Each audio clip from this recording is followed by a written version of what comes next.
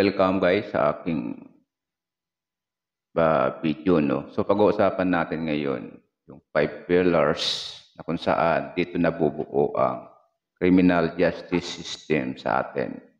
So kung interesado ka sa mga ganitong topic, so hindi ka nagkamali. Ito ang inyong lingkod, Police Yako Vlog. Okay? So, unahin natin yung, di ba lima yan? So, unahin natin yung community. So, sa theory ng criminal system, so mahalaga ang ginagampanan ng community kasi dito nag-uumpisa ang lahat. Okay? So, ano ba ang component ng community? Siyempre, yung pamilya nandyan at under siya ng barangay.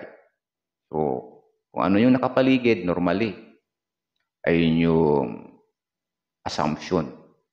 So, kaya, tinatawag nga tayo no, na theory ng criminality.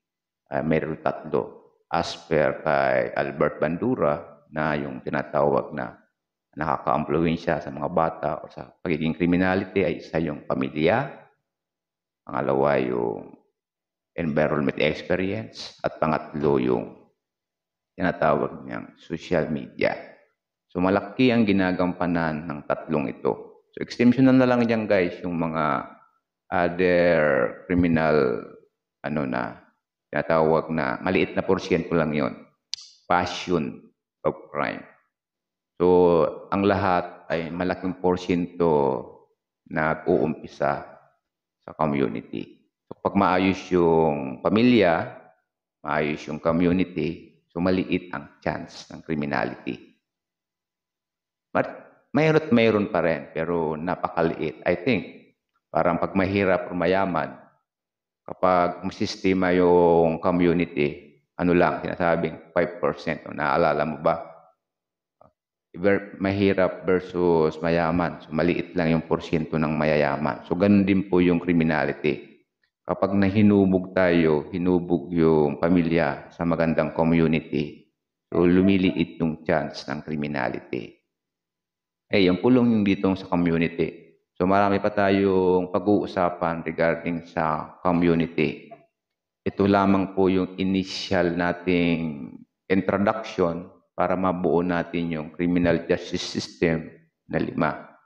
By the way, kung hindi mo ako kilala ngayon ka lang na, na click sa aking channel, sa aking videos, no? Ako nga pala ay isang online criminologist. So hindi po tayo abogado, no? So hanggang criminologist lang tayo limitado lang ang ating kaalaman. So, unlike sa iba na kung gusto naghahanap kayong mga channel na abogado or kaso na, so siguro sa initial findings or sa mas mababang level, kaya natin kayong i-assess. So, huwag niyong kalimutan, i-click yung notification bell nyo para sa pag-upload natin, at least mabigyan kayo ng idea. So, alalahanin po natin na napakamahal ng pagbayad ng abogado. So pangalan pa lang, attorney. Ang mahal na, di ba? What more pa kaya kung may serbisyo pa? O yung, I think, yung kape pa lang. Mahalaga na ng almost more or less 200 pesos. So dito sa atin, so sa inyong suporta, through your comment and sharing, para siyempre maging makatulong kayo sa akin din. So vice versa, pwede nating masagot yung mga initial na katanungan nyo pagdating sa criminal aspect. Ayun lang po may mapangako ko natin. Kaya i-click ang notification bell all para updated ka sa mga videos nating i-upload dito sa social media platform. Okay? So yung, yung community guys, napakalaki ang ginagampanan. So di ba na umbrella yan, andyan yung barangay, andyan yung pamilya, at yan yung mga anak. So dapat sa bahay pa lang, ay matutu ma-focus na tayo sa good ang mga anak natin. So pangalawa yung community. So dapat maayos din. Kaya hindi naman sa pag-ano no, sa pagmamaliit dapat kung mayroon kayong pagkakataon na lumipat sa ibang lugar na maayos na community doon kayo. Pero kung nandiyan na kayo, wala talagang maliit ang chance or hindi pa makaalis. So, ito po yung guides nyo, yung channel na to. Para at least, hindi tayo, hindi mabaon. Kasi, meron, iman, di ba? Yung nanay okay, yung tatay okay nyo. Pero yung mga anak, hindi okay. So, maraming sabit-sabit. So, maraming ganyang pamilya. So, kaya kailangan ah, maayos. Kasi ano yan eh, mm, gawa ng environment. So, yan yung kalakihan ng bata. Kaya hanggat maaari, iiwas natin sa kriminalidad. Mahirap po kasi kapag nasangkot na sa ganitong mga gawain. Hindi tayo aware kung paano nagiging kriminal yung isang bata o isang adult. So, malaki po ang ginagampanan ng pamilya. Okay? So, nandito lang po ang ating videos para i-guide kayo.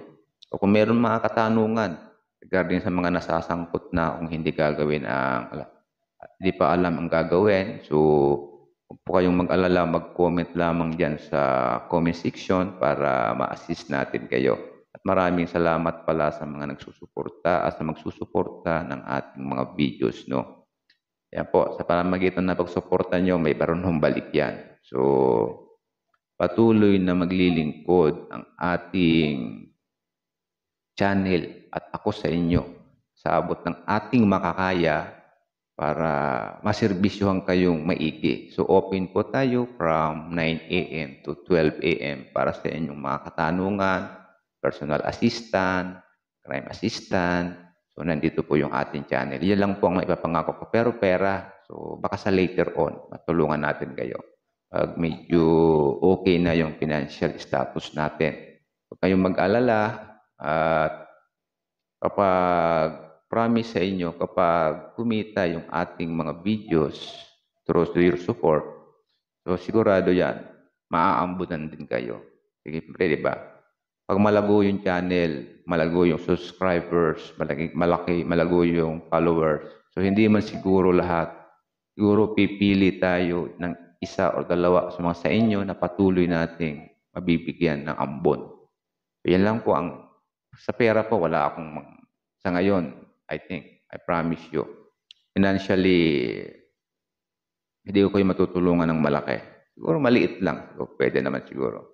So maraming salamat po. Yan po ang ating ipapangako sa inyo. So walang, walang sarili lang, walang pera. Servisyo lang. Pero malaking bagay po yon.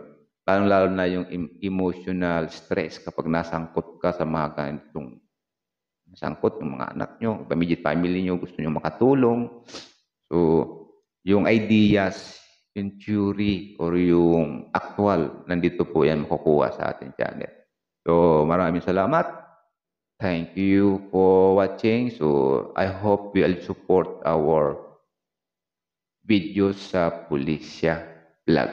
Thank you for coming and see you again next video.